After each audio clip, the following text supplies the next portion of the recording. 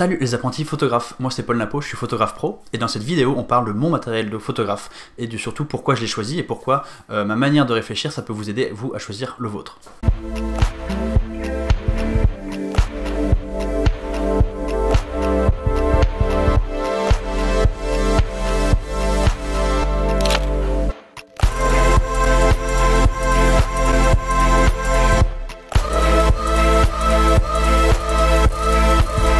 Donc dans cette vidéo, je vais vous détailler euh, quel matériel j'utilise et surtout pourquoi j'utilise et pourquoi je l'ai choisi. L'idée ici, c'est de vous montrer, comme j'ai l'habitude de le répéter dans toutes mes vidéos, qu'il faut avoir un matériel photo en adéquation avec ses besoins et que c'est comme ça qu'on va choisir euh, son matériel, qu'on soit pro ou qu'on soit amateur, il n'y a pas vraiment de différence. On part de ses besoins, qu'est-ce que je fais comme photo, qu'est-ce que j'ai comme besoin, et ça va nous déterminer quel appareil photo on va avoir besoin d'acheter. Avant de commencer, je voudrais faire un petit disclaimer.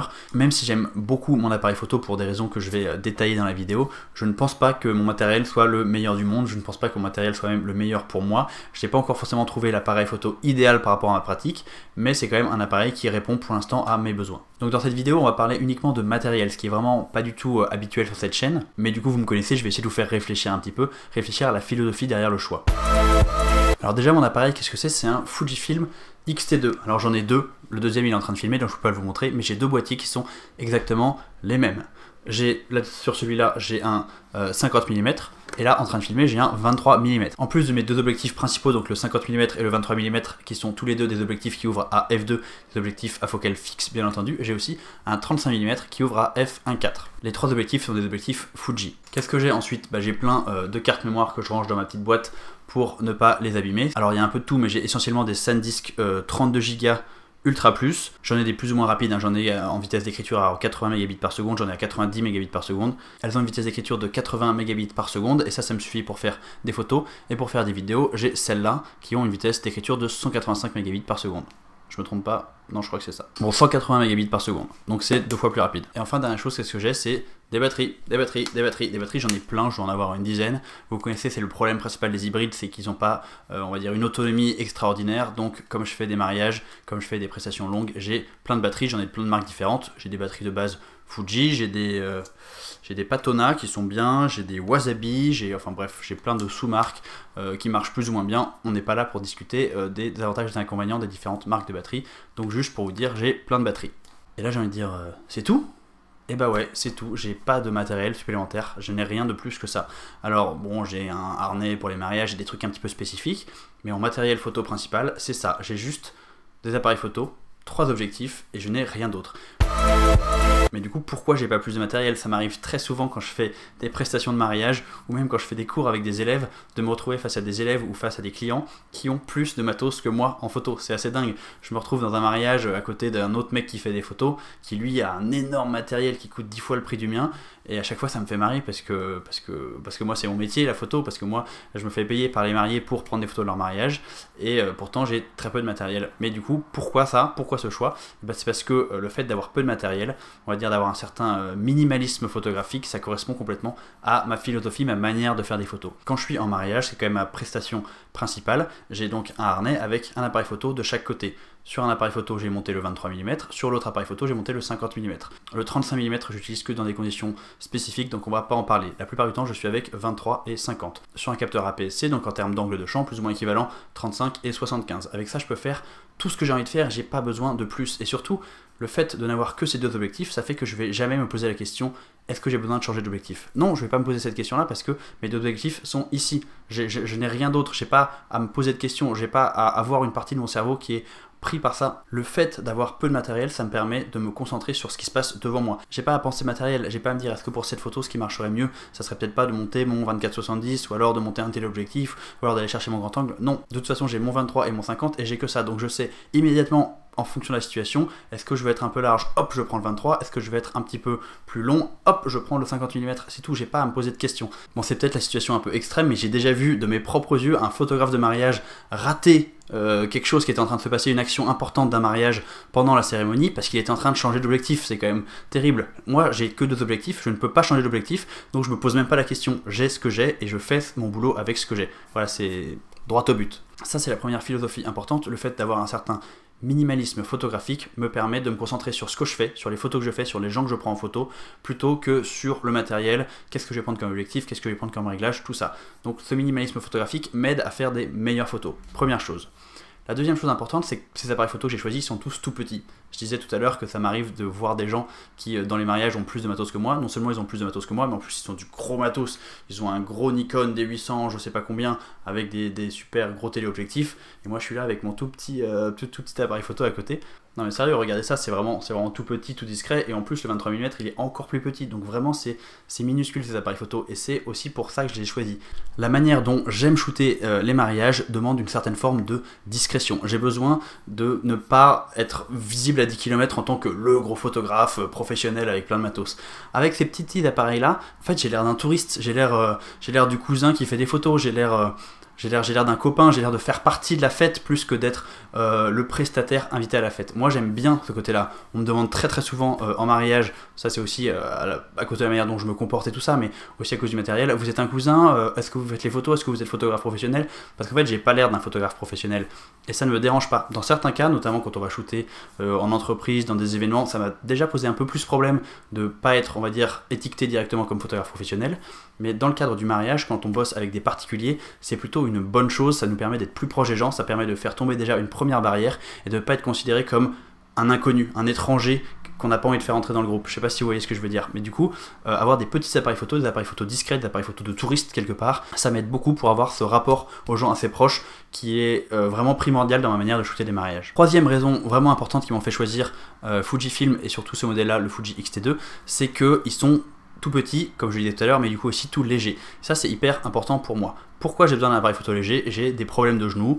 Euh, on va pas euh, en discuter des heures parce que je suis pas obligé de vous donner les détails, mais en gros, je peux pas porter des choses lourdes pendant longtemps. Donc, comme mon métier m'impose de porter euh, mon matériel pendant des longues journées pendant la saison des mariages, j'ai besoin de pas porter des choses trop lourdes. Donc ça, c'était encore un avantage énorme de ce type d'appareil photo qui sont tout petits, qui sont tout légers qui permettent donc de porter ça pendant très très longtemps. Beaucoup de gens sont passés du réflexe à l'hybride, même s'ils n'ont pas forcément de problème physique, mais juste parce que vous prenez deux gros réflexes avec deux gros objectifs, vous les mettez sur votre dos pendant toute une journée, à la fin vous avez le dos en compote quoi. Donc ça c'est vraiment très pratique pour ça, ça permet d'être plus mobile, de pouvoir les porter partout et de pas, euh, on va dire, traîner un boulet avec nous quoi.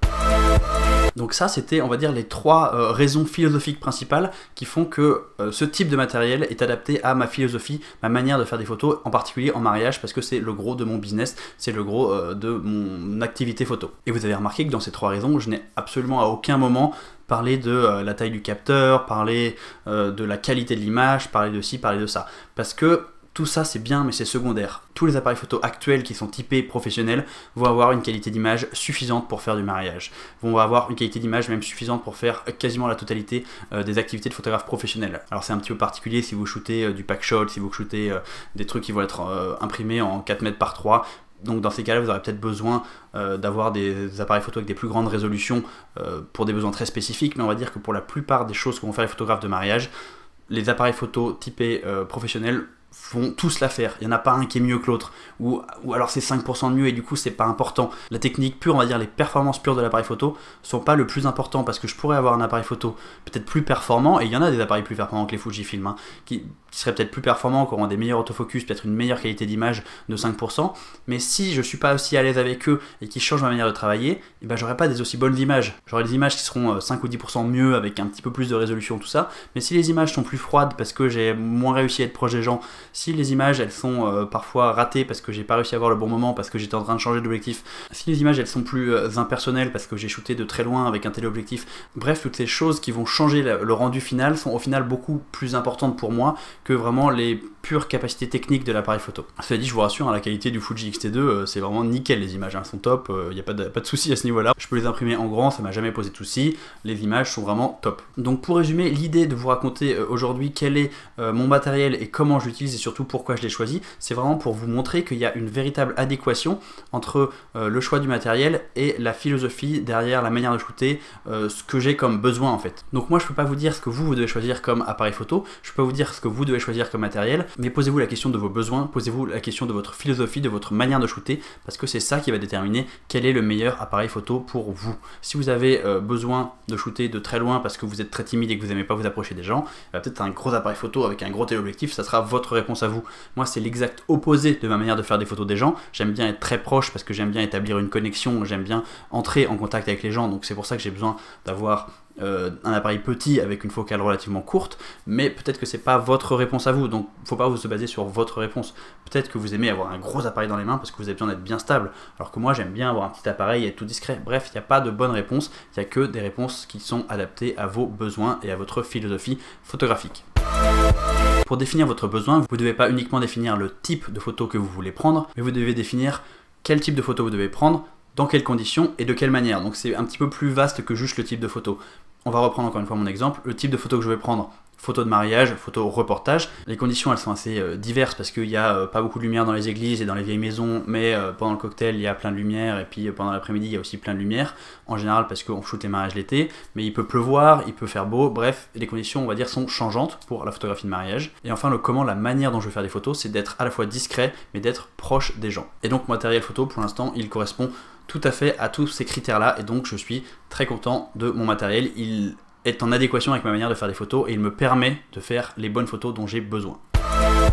Alors comme je sais que vous allez me demander, je vous le dis, est-ce que mon appareil photo il a des défauts? Oui bien sûr, mon appareil photo il a plein de défauts. Il y a plein de trucs que j'aimerais bien changer, j'ai pas encore trouvé l'appareil photo idéal. Euh, notamment je trouve que l'autofocus est quand même pas extraordinaire sur le XT2, il est bon, mais quand on teste un Sony, les autofocus ils sont juste tellement mieux. Enfin, les focus sur l'œil, le follow focus sur les yeux ou sur le visage, c'est quand même vraiment génial chez Sony. J'aimerais bien voir ça sur un Fuji, il paraît que le XT3 est un peu mieux, mais euh, c'est pas encore temps pour moi de changer mon appareil photo parce qu'il marche très bien, donc peut-être que j'attendrai le XT4, on verra un petit peu ce que ça donnera. Bref, il y a quelques autres petits trucs que je voudrais bien changer. Je voudrais bien euh, des batteries euh, qui ont une autonomie plus longue. Bref, il y a des petits détails qui me gênent dans mon appareil photo, mais ça me gêne très peu par rapport à tout ce qu'il y a d'intéressant et d'adapté à ma pratique dans mon appareil photo. Voilà pour aujourd'hui, j'ai jamais autant parlé de matériel sur cette chaîne. Là, je vous ai tout dit sur tout ce que j'utilise. Comme vous avez pu voir, il y a presque rien. Là, vraiment 100% des photographes pro que je connais ont plus de matos que moi. Moi, j'ai rien en matériel et c'est pas que j'ai pas les moyens de m'acheter plus de matériel, c'est vraiment une volonté de, minimalisme photographique parce que c'est comme ça que j'aime bien faire des photos et en plus parce que ça m'aide à faire euh, des photos d'une certaine manière. Ça me correspond en tant que photographe, ça correspond à ma philosophie photographique. J'espère que ça vous a plu. Si vous n'êtes euh, pas d'accord avec moi, si vous êtes d'accord avec moi, si vous avez des conseils à me donner, n'hésitez pas à mettre tout ça en commentaire. Les vidéos sur euh, le matériel font en général toujours beaucoup réagir et ça m'intéresse tout de même d'avoir vos avis parce que moi j'ai un avis qui est très précis mais ça m'intéresse d'avoir les avis des autres. Je lis et je réponds bien sûr à tous les commentaires. Vous pouvez aussi me suivre sur mon Instagram paul-napo si vous voulez voir mon travail un petit peu de tous les jours, mes photos, mes photos de voyage, mes photos de portrait, tout ça. Je poste tout ça sur Instagram. Si vous avez envie de progresser en photo, vous pouvez euh, télécharger mon guide Devenez un meilleur photographe en 12 semaines. C'est un guide de 12 exercices créatifs qui va euh, vous apprendre à développer votre créativité, tout ça en 3 mois. Bien entendu, c'est gratuit. Il suffit de cliquer dans le lien dans la description pour entrer votre email et je vous envoie ça directement. Moi, je vous dis à la semaine prochaine pour un nouveau tuto et salut